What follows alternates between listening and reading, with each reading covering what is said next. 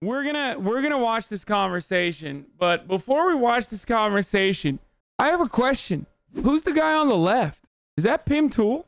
Because it seems like he's capable of doing remote broadcasting. And if I remember, in our personal correspondence that also leaked uh, to the world, I told him, you know, I would love to come on a show, but uh, you know, we could, we would have to do it remotely. And he said that that's uh, an impossibility. He said that he doesn't know how to do uh, video calls, that his studio does not have the technical capabilities of doing a video call. I, I don't understand it. Antifa. So, so you covered Antifa on the ground. We've been told by the media that Antifa are alternatively World War II era Allied troops storming the beaches of Normandy. Uh, Yeah, we've been told by Joe Biden that they are not, in fact, a, a group. That they are, in fact, just sort of a, a philosophy. You know, sort of like sort of like Cubism or something, like an artistic movement. Okay, but it is true. Like that's literally true. It is not an organized body. It is an action. It is a philosophy. It's it does not exist when fascism does not exist. If fascists aren't organizing, then Antifa doesn't go around and they're like, "Well, I decided this is fascism now." I know that that's the way that Ben Shabibo and Tim Pool act like it is, but that's not how it works, and that's not how it works. That's not how it has worked throughout history. Well, what exactly is Antifa since you've covered them on the ground? I mean, it's not necessarily wrong to say that they're a movement or an idea, but it's the individual cells that we're talking about. I think what you're talking about.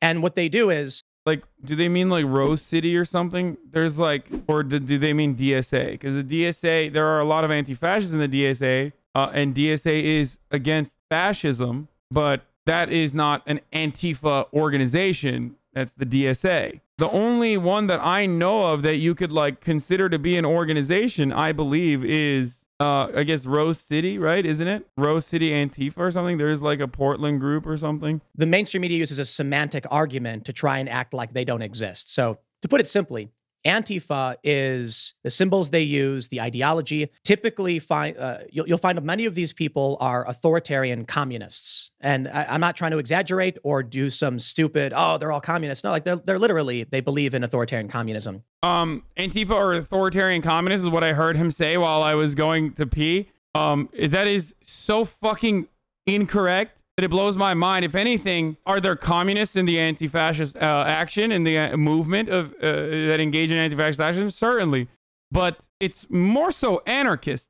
I, I- think that for someone who worked at Vice and uh, builds himself as a leftist turned Trump supporter, kind of odd that uh, he's missing like this this main principle that they are they are literally uh, anarchists. They're crustiest of the anarchists for the most part. Some of them. Because if I said, you know, I went to Portland and Antifa came out, then I went to Boston and Antifa came out, they say, aha, see, that proves it because there's no connection between those two groups. But it's the general idea is they they they hold that same ideology, wearing all black. They use similar tactics. They use the same symbols, and they typically agree with each other on their cause and their you know their means to the end. Wait, is he now making a distinction between black bloc and like regular people um, engaging in anti-fascist action? I'm confused. Like black bloc is anti-fascist action taken to uh, uh, violent means if necessary as a defensive measure. It is under the umbrella of anti-fascist action, but it's a very specific part of it. A lot of the anti-fascist people are, are humanists. They're they abhor. They think violence is abhorrent. They refuse to engage in violent actions to begin with. Black Bloc is is a very small fraction of that, like a very very small fraction of the uh, otherwise uh, growing movement of of people who engage in anti-fascist action. using violence against their political opponents, all, uh, for the most part, instigating it outright, and it works for them. You know, the, the example I often give to people why is it that social media is so willing to censor right wing individuals, but Antifa is literally organizing violent riots online, even probably One is pushing back against a demonstration from white supremacists. The other one is a white supremacist movement that has an inherently violent ideology that tries to mask themselves under the guise of civility to promote that inherently violent ideology. I think that both Ben Shabibo and Tim Pool, if uh, they were asked whether or not Nazism is inherently violent as an ideology, would probably not say no. I, I think that obviously they they wouldn't defend Nazism. It's like one of the few normative positions that almost every single person agrees uh, throughout history that they were bad. It's like slavery and Nazism. Those are two two things that you can have like a very clear normative position on. Okay, throughout history. You sure, LMAO? Yes, of course they say Nazism is bad. Otherwise, they wouldn't compare other shit to Nazis. Okay, they do that too. So the point is this: if they understand that that's inherently violent, then what's your suggestion to fight back against it? Because we that's a common uh, agreement that we have that Nazis are bad. Why are they bad? Well, because it's an inherently violent ideology. Why is it an inherently violent ideology? Because it, it bases itself on the on the foundational principle of ultranationalist uh, exclusion, and that in group gets smaller and smaller, and the way the deal with the out group gets more and more violent because there's no peaceful transition uh, of like there's no there's no way to get like uh, I don't know Jewish people out of the country peacefully. Of course, it's going to be violent. Of course, you can't purge immigrants from their homes peacefully. Ethnic cleansing cannot happen in a peaceful capacity. It's inherently violent. Now, the question you have to ask is why do you want to do that to begin with? That's the real question. Yeah, racial purity is violent. That's why you have to have uh, anti fascist action against these sorts of movements. Antifa in, say, San Francisco in the Bay Area, they'll show up to the to the headquarters of these big tech companies and they'll trash the place. So these companies say, well, well, you know, leave them alone. But there's not going to be a conservative group marching to Twitter HQ with pitchforks and torches. So long as big companies keep giving Antifa what they want or showing them their tactics work, they'll keep doing what they do. So here's the thing big corporations are giving Antifa what they want. Like, that's insane.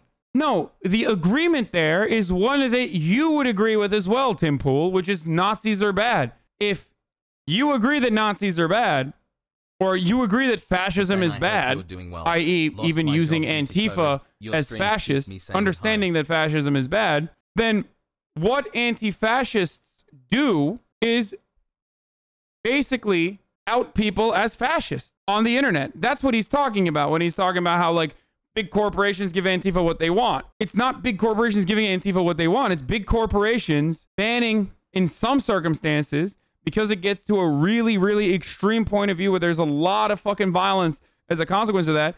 It's just big corporations being liberal as fuck and being like, okay, well, we don't we don't want to have uh, you know Stormfront and and goi- uh, groypers on our on our platform face. spreading uh, psychotic uh, screeds about uh, ethnic purity.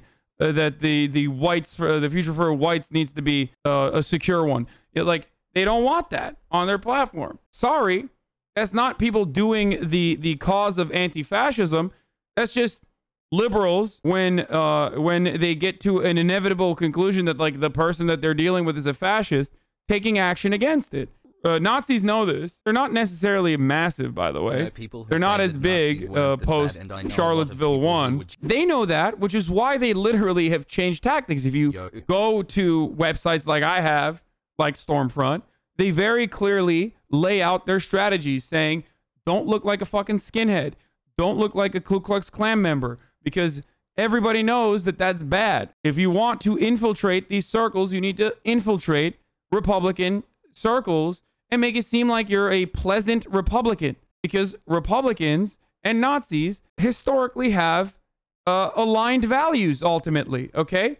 That's why Stephen Miller is able to, uh, you know, write immigration policy that a lot of these hogs love. So what Tim is doing here is is counterproductive to his own interest. If he thinks fascism is bad, then why the fuck is he caping for the fascists who want to continue spreading misinformation and continue doing uh, continue trying to to uh, build up a base of support for their ultimate ethnic uh, cleansing uh, ideology? Antifa knows this. I've actually talked to people going back to Occupy Wall Street who have straight up said, no leaders. As soon as you put someone up, They'll smear, they'll character assassinate. So it is on purpose. They yeah, who does that, by the way? Like, how many fucking Nazi leaders has the state executed in comparison to how many fucking black leaders and radical uh, uh, black uh, liberation movement leaders has the state literally executed? That's why Antifa fucking wears black because the state is not on their side. The corporations are not on their side either.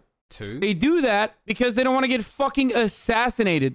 And the fact that he's only talking about character assassination, which is unmasking, by the way, unmasking is considered character assassination. If you're a Nazi and you want to do Nazi shit and someone goes, oh, that guy's a Nazi, here's why, That's considered character assassination for Tim Pool, which is hilarious, especially considering the fact that, again, if that's the most significant problem that you have, well, here's a very easy way to avoid it. Don't be a fucking Nazi.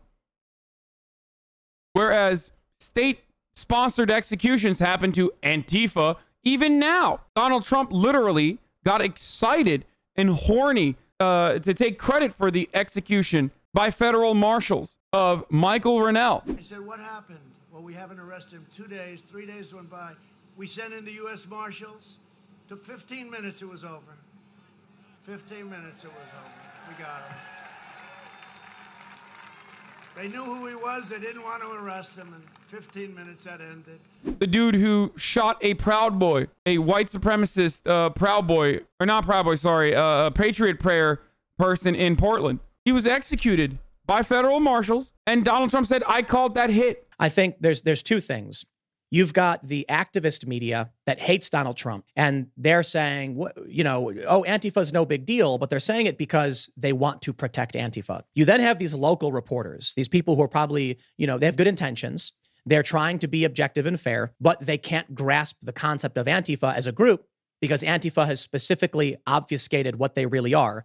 So you can't report on what they are. But if it's not an organization, and if it's people engaging in an action, and you basically admit that, then why do you want people to like what do you want the media to do to just lie like you're pretty much admitting that there are um like demonstrations that are put together by local community organizers in an effort to do anti-fascist action at a time when like fascists are demonstrating in a show of force in their towns and their cities. If you understand that and there's no leader and there's no organizational structure, if you already admitted that, then like why are you saying uh, that the media is not covering it as an organization because they because they don't know how to cover it. It's like no, you're basically asking them to lie.